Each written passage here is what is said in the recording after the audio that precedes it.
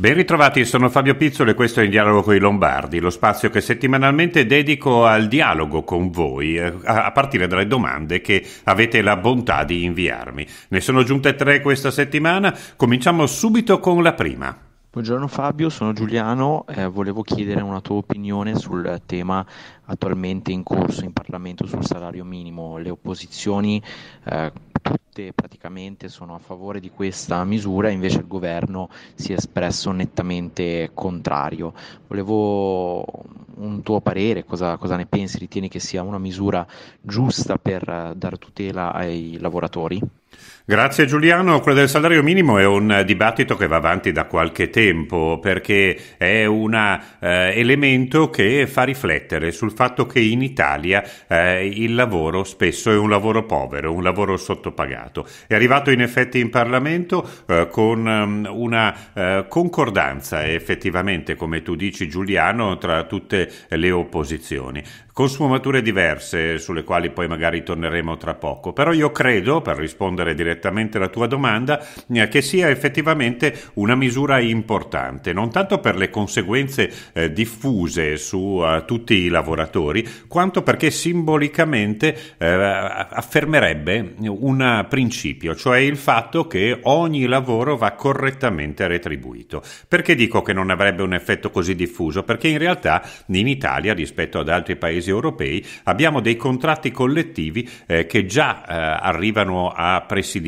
questo tema e che garantiscono comunque eh, un livello di retribuzione eh, spesso anche già al minimo più alto rispetto a quello che mh, mm, verrebbe eh, indicato dal salario minimo. E questa è una delle differenze tra eh, le diverse forze di opposizione, um, ovvero il eh, la rilevanza e il significato che può avere il salario minimo rispetto ai contratti di lavoro collettivi. Qualcuno di voi avrà sentito eh, che i sindacati hanno sempre espresso qualche perplessità riguardo l'introduzione per legge di un salario minimo e la perplessità deriva proprio da questo, dal fatto che esistono già dei contratti collettivi nazionali eh, che garantiscono la paga minima per coloro eh, che vedono applicati eh, questi contratti. Il problema qual è? Tal- tante, talvolta volta eh, si è di fronte a una scarsa chiarezza dell'applicazione dei contratti collettivi di lavoro, o meglio, esistono ormai centinaia di contratti collettivi siglati dalle più diverse sigle sindacali, anche quelle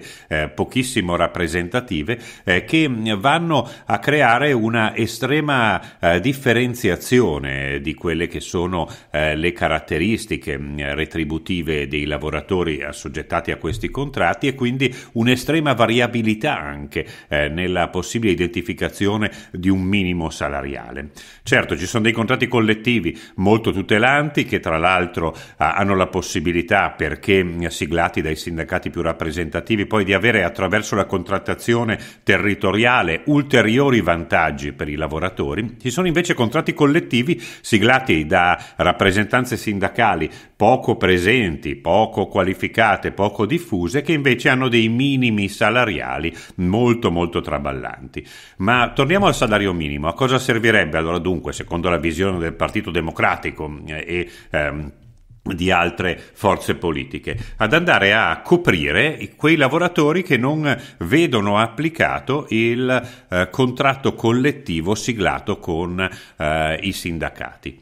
Eh, quel pezzettino eh, di lavoratori, magari non maggioritario, anzi sicuramente non maggioritario, però presente nel nostro paese, potrebbe godere appunto di questa possibilità eh, di eh, avere un eh, salario minimo per legge che tutelerebbe eh, i lavoratori più fragili. Pensiamo ai rider che vengono presi a simbolo, insomma, per uh, una uh, categoria dei working poor, dei lavoratori poveri, di coloro che hanno quindi un salario assolutamente inadeguato. Eh, ecco, co- queste categorie potrebbero giovare, gioverebbero sicuramente, anzi, di una norma che riguarda riguarda il salario minimo, che avrebbe un grandissimo valore simbolico. Eh, ci sarebbe un pericolo poi secondo i sindacati, ovvero il fatto che mh, mm, delle aziende eh, andando a, a, scoprire che il salario minimo per legge potrebbe essere più conveniente eh, per l'azienda e meno conveniente magari per il lavoratore rispetto a quello che deriverebbe dall'applicazione di un contratto di lavoro eh, collettivo, ehm, potrebbero disdire il contratto collettivo e mm, accedere all'ipotesi di rispettare la legge del salario minimo, pagando così di meno i lavoratori. Ecco, la delicatezza che bisognerà avere nel momento in cui si discuterà di salario minimo e si approverà l'eventuale legge per il salario minimo è quella di mm, inserire delle clausole molto precise per cui in presenza di un contratto collettivo di lavoro più favorevole questo non venga stracciato dalle aziende per uh, andare a um, siglare un più conveniente contratto uh, che uh, faccia riferimento al salario minimo stabilito per legge. Non so se ho confuso le idee Giuliano, questo è il punto di vista, credo però che sia un dibattito importante che vada però come sempre sempre accade in politica, eh, strutturato non secondo dei criteri eh, ideologici o comunque eh, astratti, ma calato poi nella concretezza eh, di quella che è la situazione del mercato del lavoro e delle leggi sul lavoro eh, in Italia. Quindi mh, la priorità deve essere il mantenimento dei contratti collettivi nazionali ehm, attraverso eh, il contributo fondamentale dei sindacati e laddove ci fossero dei buchi buchi, ovvero dei lavoratori non coperti da questi contratti collettivi, nell'ottica comunque di far sì che le aziende possano andare verso questa applicazione dei contratti collettivi, ecco laddove però eh, non ci siano ancora arrivate mm, o non vogliano farlo, ecco il salario minimo secondo me eh, avrebbe un valore molto molto importante. Andiamo a sentire la seconda domanda. Eh, caro Fabio, ho gradito e apprezzato molto il tuo pensiero preciso, un excursus direi, sulla nuova composizione dei consiglieri assessorati del nuovo Consiglio regionale lombardo. Ecco, mi farebbe piacere, ma credo lo sia per molti ascoltatori, sapere il tuo parere sulla composizione dei consiglieri di opposizione e quali passi, direi politici e culturali, ti auspichi possano intraprendere in Consiglio e io direi anche nel territorio lombardo. Grazie Silvio per questa domanda. In realtà più che i consiglieri di maggioranza, io nello scorso podcast ho dato una rapida eh, disamina riguardo eh, i componenti della giunta regionale. I consiglieri di maggioranza sono ben più di quelli eh, che vanno a comporre la giunta regionale, sono 48, 49 anzi per la precisione, e 31 sono i consiglieri di minoranza. Ti accontento però dando un'occhiata a quella che è la composizione di fatto del Consiglio, quindi dando un'occhiata sia a maggioranza sia a opposizione. Lo faccio velocemente perché appunto sono 80 globalmente i consiglieri, sarebbe un po' lunga. Mm, lo facciamo per ehm, aree geografiche. Partiamo da Bergamo. Per Fratelli d'Italia Paolo Franco, Lara Magoni e Michele Schiavi. Mm, in realtà eh, Paolo Franco e Lara Magoni eh, sono poi diventati parte della giunta, quindi verranno sostituiti. Mm, Paolo Franco e Lara Magoni, già presenti nella scorsa legislatura, hanno fatto fatto un passo avanti eh, perché appunto sono diventati l'una sottosegretaria, l'altro assessore. Per la Lega Francesco Malanchini e Roberto Anelli. Nella scorsa legislatura Malanchini era, era segretario eh, dell'aula del Consiglio regionale, questa volta mh, ha dovuto cedere il passo, quindi rimane consigliere tra virgolette semplice. Roberto Anelli era capogruppo mh, della Lega, anche lui tra virgolette retrocede perché ehm, sarà un consigliere semplice o comunque avrà un ruolo in commissione visto che non sarà più eh, capogruppo della Lega. Per Forza Italia Jonathan Lobati, un nuovo ingresso che mh, mm, di fatto non conosco, eh, per... Il PD Davide Casate e Jacopo Scandella. Jacopo Scandella, consigliere um, uscente, è alla sua terza legislatura, sarà segretario dell'Aula del Consiglio regionale. Davide Casati recordman di preferenze, um, area cattolica, sindaco di Scanzo Rosciate, ha preso 14.000 preferenze. Davide credo che sarà un ottimo consigliere regionale e ha un grande supporto del suo territorio. Per la lista Moratti Presidente, Ivan Rota, ex parlamentare di, eh, di Pietro, quindi parliamo ehm, della, eh, di un'esperienza ormai datata ehm, nel tempo. Ivan Rota è un eh, combattivo eh, politico che sicuramente farà bene, molto passionale eh, in Consiglio regionale. Andiamo a Brescia, Carlo Bravo, Barbara Mazzali e Diego Invernici per quanto riguarda Fratelli d'Italia, ehm, eh, con Barbara Mazzali che farà l'assessore, per la Lega Floriano Massardi e Davide Caparini, Massardi mh, è un ex consigliere regionale eh, ed è eh, tra l'altro esponente di punta, chiamiamolo così, anche perché è un termine punta che ha a che fare col settore di cui sto per parlare, eh, del mondo della caccia. È eletto dai cacciatori bresciani, questo è, è evidente, ed è stato protagonista nella scorsa legislatura della legge approvata sullo spiedo bresciano. E poi Davide Caparini, Camuno, ex assessore eh, al bilancio di Regione Lombardia, quindi eh, torna questa volta sui banchi del Consiglio e non più eh, su quelli della Giunta. Caparini, figlio di quel Bruno Caparini che mh, mm, è stato uno dei eh, fondatori della Lega eh, assieme a Bossi ed uno dei motivi per cui Bossi mh, mm, ha scelto Ponte di Legno come eh, luogo eh, delle sue vacanze estive. Per Forza Italia Simona Tironi che mm, diventa assessore alla formazione, quindi sarà un subentro al suo posto. Per il PD, Emilio Del Bono, recordman di preferenze, attuale sindaco di Brescia, 36.000 preferenze e oltre ottenute nella circoscrizione di Brescia. Emilio sarà vicepresidente del Consiglio regionale, quindi un, luogo di, un ruolo di prestigio che saprà interpretare al meglio. Poi Miriam Cominelli, eh, già eh, consigliera regionale subentrata a Gianni Girelli quando nella scorsa legislatura Gianni è diventato parlamentare, e Miriam Miriam eh, quindi rientrerà in consiglio. A proposito, auguri anche a Miriam perché in dolce attesa nel mese di luglio mh, mm, dovrebbe arrivare eh, appunto una sorpresa anche per lei. Paola Pollini per il Movimento 5 Stelle non la conosco e per azione Massimo Vizzardi, anche lui mh, mm, non lo conosco. Andiamo a Como, Alessandro Fermi per eh, la Lega, ex presidente del Consiglio regionale, diventa assessore all'Università e alla ricerca, al suo posto subentra un'altra consigliera uscente, ovvero Gigliola Spelzini, rappresentante dell'Alto Lago, insegnante e competente sui temi della scuola. Fratelli d'Italia Anna Dotti, Conosco il padre perché due legislature fa era consigliere eh, regionale per ehm, eh, Fratelli d'Italia e di fatto eh, è rappresentante dell'Alto Lago, però Anna non la conosco. Per Forza Italia Stefano Gaddi, Stefano Gaddi è già assessore eh, alla cultura del comune di Como, era noto a Como per le grandi mostre che ha portato a Villa Erba. Per Lombardia Ideale Marisa Cesana che non conosco, per il PD confermato Angelo Orsenigo, area cattolica. Ehm, che mm, ha ha avuto un bel consenso sul territorio. Andiamo a Cremona, per Fratelli d'Italia Marcello Maria Ventura che non conosco, per la Lega Filippo Bongiovanni che non conosco, per il PD Matteo Piloni, eh, consigliere uscente, cremasco, eh, molto molto presente e eh, capace di rappresentare il territorio. Andiamo a Lecco, per Fratelli d'Italia Giacomo Zamperini, anche questo non lo conosco, per la Lega Mauro Piazza che poi è diventato sottosegretario, quindi subentrerà qualcuno per la Lega che però non conosco, e per il PD Gianmario Mario Fragomeli, eh, già parlamentare, eh, che è stato eh, nelle commissioni bilancio eh, della Camera per parecchi anni, molto competente su questi temi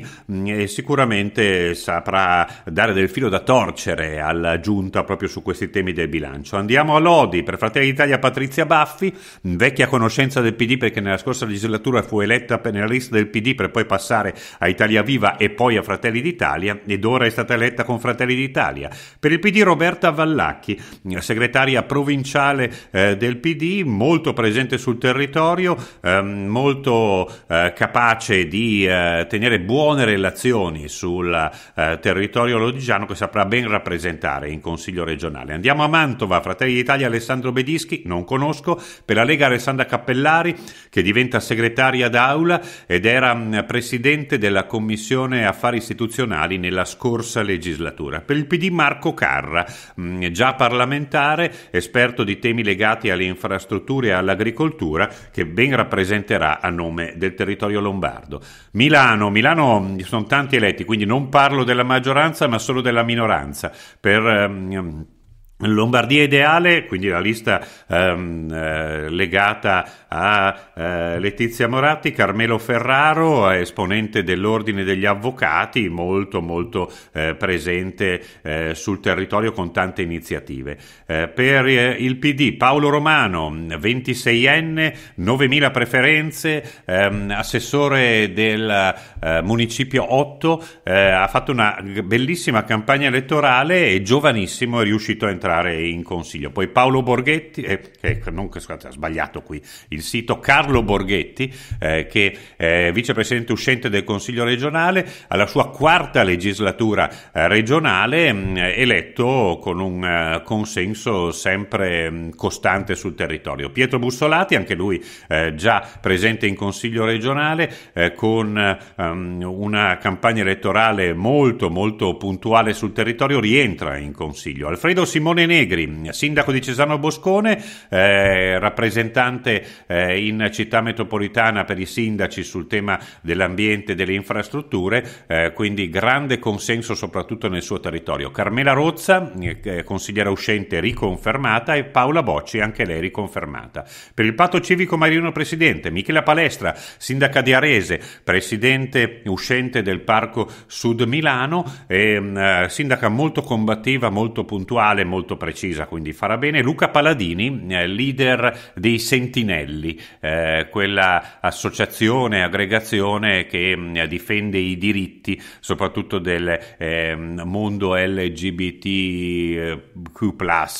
protagonista ieri ad esempio della manifestazione che c'è stata in Piazza della Scala eh, per il riconoscimento, la trascrizione mh, mm, dei figli di coppie omogenitoriali. Ne parleremo comunque tra poco. Per il Movimento 5 Stelle Nicola Di Marco Marco, capogruppo uscente dello stesso movimento, e Paola Pizzighini, molto vicina a mm, un consigliere uscente e non rieletto eh, dei 5 Stelle, ehm, ovvero eh, una, ehm, una spina nel fianco, era stata nella maggioranza, ma un po' per, per mm, tutto il consiglio, eh, Piccirillo eh, si chiamava ed è molto vicino appunto a, a Paola Pizzighini. Per Alleanza Verdi Sinistra Onorio Rosati, Vecchia conoscenza perché eh, già presidente anzi, della Camera della segretario, scusate, della Camera del Lavoro di Milano, già consigliere regionale eh, per il PD eh, nella eh, decima legislatura. Rientra in questo modo. Per la lista Moratti Manfredi Palmeri, che eh, di fatto eh, rientra in consiglio, ha una lunga carriera politica perché ehm, presente, era stato presidente del Consiglio Comunale di Milano. Mi correggo, Lombardia Ideale, Carmelo Ferrari Ferraro ehm, non era con la lista Moratti, eh, ma era con eh, la lista a sostegno eh, di eh, Fontana, quindi mm, scusate questa, eh, questa, incertezza che ho avuto. Per azione entra Lisa Noia, già parlamentare, eh, che mm, è esperta in temi legati alla disabilità, in quanto anche lei è portatrice, persona portatrice di disabilità, sicuramente quella di Lisa è una presenza molto molto preziosa. Velocemente andiamo a Monza, per Fratelli d'Italia Federico Romani, consigliere uscente, che diventa presidente del Consiglio regionale, e Alessia Villa, che non conosco. Per la Lega Alessandro Corbetta, che diventa mm, eh, esponente, anzi che diventa capogruppo eh, della Lega in eh, Consiglio, succedendo, come dicevo, a, al ehm, rieletto Anelli, che però cede il passo per quanto riguarda la, eh, preside- la presidenza del gruppo Lega. Per Forza Italia Filippo Figini, che diventa capogruppo mh, mm, di Forza Italia in Consiglio Consiglio, che però non conosco perché non era presente nella precedente legislatura, per Lombardia Ideale, lista collegata a Fontana e Jacopo Dozio che non conosco, per la lista Moratti Martina Sassoli. Andiamo a Pavia, Fratelli Italia Claudio Mangiarotti, non conosco, per la Lega Elena Lucchini che diventa mh, assessora uh, alla eh, servizi sociali, per Forza Italia Ruggero Invernizzi, già presente nella scorsa legislatura, medico, si è occupato di agricoltura nella precedente legislatura ed è un eh, esponente politico molto capace di mediazione, di ascolto anche delle minoranze. Per Lombardia Ideale Alessandro Cantoni che non conosco, a Sondrio, siamo verso la fine, eh, Massimo Sertori eh, che eh, viene riconfermato per la Lega, assessore alla montagna agli enti locali, subentrerà eh, qualcun altro al al posto suo. Chiudiamo con Varese, Fratelli d'Italia Giuseppe De Bernardi Martignoni, che non conosco, e Francesca Caruso, che diventa assessora alla cultura ed è attualmente assessora alla sicurezza di Gallarate, vedremo cosa saprà fare nella cultura. Per la Lega Emanuele Monti, che era presidente nella scorsa legislatura della Commissione eh, Sanità e che avrebbe aspirato a qualcosa in più, ma non entra in giunta, vedremo che ruolo avrà in Consiglio. Per Lombardia Ideale ehm, eh, Giacomo Basaglia Cosentino, che eh, diventa vicepresidente del Consiglio regionale, avrebbe aspirato a un ruolo eh, in giunta, ma per ragioni di equilibrio della lista mh, Fontana o Lombardia Ideale, eh, che eh, aveva necessità di eh, dare un ruolo anche a qualcuno di Brescia, ehm, ha ceduto appunto a un eletto a Brescia la ehm, carica di assessore e si deve, tra virgolette, accontentare della vicepresidenza del Consiglio. Per il PD Samuele Astuti, che è riconfermato eh, con molti voti sul territorio, per la lista Moratti Luca Ferrazzi, vecchia conoscenza perché nella decima legislatura era in Consiglio ed era presidente della Commissione Cultura, e per Azione Giuseppe Licata, che non conosco. Silvio, ho fatto questa lunga cavalcata, spero di non aver confuso troppo le idee mm, a tutti voi. L'auspicio che mi chiedevi è qual è? È quello che mm, le minoranze riescano a fare battaglia comune. Non si è cominciato molto bene eh, perché c'è stato un netto scentro, per così dire, politico eh, tra Terzo Polo Lista Moratti e PD perché il PD ha scelto, avendo i numeri per farlo, di avere in ufficio di presidenza sia il vicepresidente sia il segretario d'aula, con Emilio Del Bono e Jacopo Scandella, cosa che ha molto indispettito sentito Lista Moratti e Azione Italia Viva che hanno subito detto partiamo male, non riusciamo a collaborare.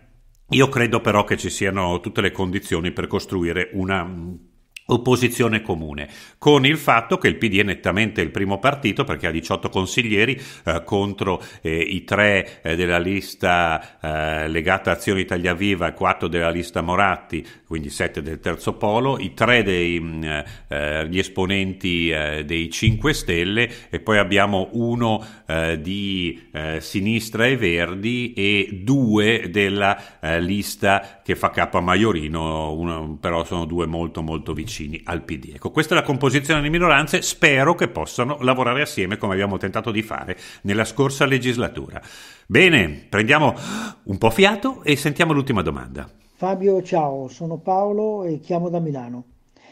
Si dibatte oggi sulla registrazione automatica all'anagrafe dei figli di coppie omogenitoriali, prevalentemente provenienti dall'estero. La trascrizione attivata dal Comune di Milano è stata sospesa dal governo attraverso il prefetto in base alla legge 40 e a sentenze della Cassazione che vietano l'utero in affitto. Tutela del minore e surroga di maternità sono aspetti distinti, ma chiaramente vicini fra loro, aspetti che rischiano anzi di sovrapporsi perché l'automatica trascrizione manda un messaggio di sostegno alla gestazione surrogata. La gestazione per altri resta una sopraffazione perché con contratto oneroso sottrae alla gestante il suo bambino e al bambino la sua mamma, bambino che oltretutto ha diritto di conoscere la propria origine. La situazione si può oggi giuridicamente sanare con l'adozione speciale da parte del partner convivente, procedura lunga ma fondata. Mi pare che la politica dovrebbe tutelare le componenti deboli, gestante e bambino. Se i partiti, sinistra compresa, raffreddassero la competizione ideologica, si potrebbe forse riaprire maggiori spazi di approfondimento parlamentare per l'apertura dell'adozione ordinaria, per rendere più veloce quella speciale, per nuove forme di tutela di donne e minori. Scusa la lunghezza, ma cosa ne pensi? Grazie. Grazie Paolo, eh, ti ringrazio per eh, la dettagliata, più che domanda, disamina riguardo eh, la vicenda della trascrizione automatica, ecco è fondamentale questo termine, eh, dei figli delle coppie omogenitoriali. Sono d'accordo con te Paolo, è una situazione che dovremmo togliere dal dibattito, anzi dallo scontro ideologico e tentare di approfondire, a partire da quelli che sono alcuni caposaldi. Il primo caposaldo che io mi sento di sostenere è il no al cosiddetto utero in affitto o gestazione per altri o maternità surrogata, ovvero l'utilizzo eh, di una donna eh, che mm, eh, ha eh, una eh, gravidanza che è funzionale, anzi mirata ad avere ehm, la, un frutto appunto di questa gravidanza, un bambino che poi viene consegnato ad altri. Eh, qualcuno potrebbe dire giusto che non si faccia ehm, uso della maternità surrogata, utero in affitto eh, per ragioni commerciali, a pagamento o quant'altro, se però una donna vuole farlo volontariamente, magari poi con un rimborso spese, perché no? Io ho molti dubbi su questo, anzi io credo che su questo ci debba essere una legislazione molto molto eh, precisa per evitare qualsiasi tipo di sfruttamento e quindi ehm, pensare che mm, eh, una maternità surrogata utero in affitto eh, impedito per legge, vietato per legge, almeno in Italia, possa surrettiziamente ehm, essere utilizzato attraverso la trascrizione automatica in un registro delle figlie delle coppie omogenitoriali che hanno ottenuto un figlio all'estero attraverso la maternità surrogata, ecco questo mi sembra francamente una forzatura inaccettabile al momento.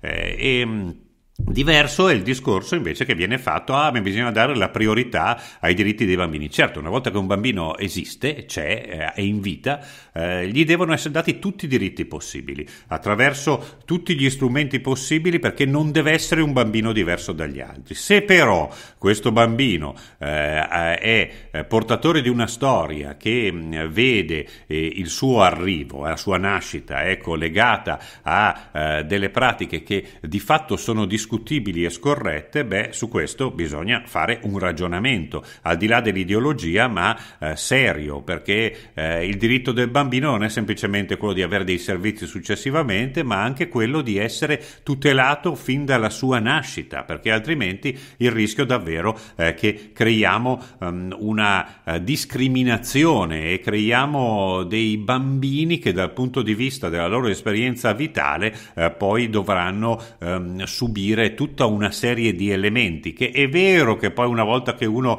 eh, è eh, coperto, avvolto dall'affetto anche di una coppia di genitori, eh, anche dello stesso sesso, eh, poi potrà vivere bene, potrà crescere bene. Però, però attenzione, non, eh, dietro la volontà di avere a tutti i costi un figlio non si può coprire anche una, ehm, tra virgolette, violenza nei confronti di questo figlio per quanto riguarda il modo in cui cui è, è stato chiamato alla vita. Mm, è un po' semplicistico quello che sto dicendo, però per far cogliere come i diritti devono essere eh, affrontati a tutto tondo, non possono essere diritti solo di coloro che vogliono a tutti i costi un figlio, a prescindere da quella che è l'esperienza da cui, na- da cui, arriva, nasce quel figlio e a prescindere da una storia che poi è una storia che quel figlio si porta dentro, non è che cancello automaticamente quasi ehm, attivando un interruttore nel momento in cui quel figlio è mio e allora siccome io sono bravo, siccome io lo voglio, per lui sarà tutto eh, normale. Quindi per chiarire per non farla troppo lunga, perché Paolo ha spiegato già bene, ok al riconoscimento dei diritti, però quell'automatismo della trascrizione sa molto molto eh, di pilatesco, di farisaico, ovvero facciamo trascrizione, basta, chi si è visto si è visto, noi siamo a posto. E no, io credo che ci debba essere una responsabilità da parte eh, dei genitori eh, che eh, intendono eh, ottenere un figlio in quanto genitori dello stesso sesso e allora quella strada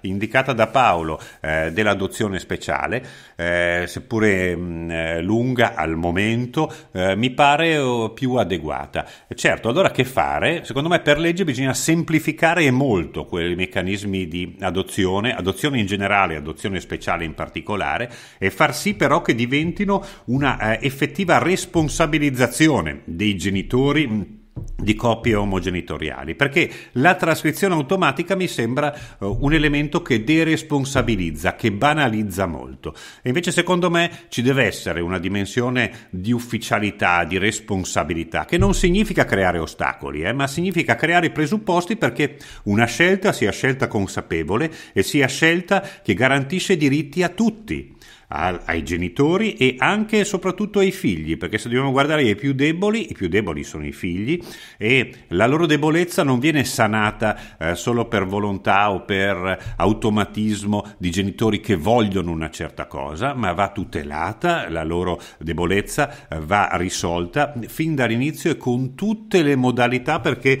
i loro diritti possano essere um, eh, garantiti a 360 gradi, a partire da quello biologico alla nascita, perché appunto la maternità surrogata utero in affitto, per come eh, viene utilizzata oggi, soprattutto in alcuni paesi esteri, è sfruttamento e non è eh, un eh, atto di amore e di disponibilità nei confronti di qualcun altro. Quindi Temi molto molto delicati, è vero quello che diceva Paolo e su questo concludo, toglierli da una dimensione ideologica di scontro di piazza, diciamo così, eh, potrebbe garantire un dibattito parlamentare più approfondito nel maggior interesse dei minori e questo deve stare al centro di tutto.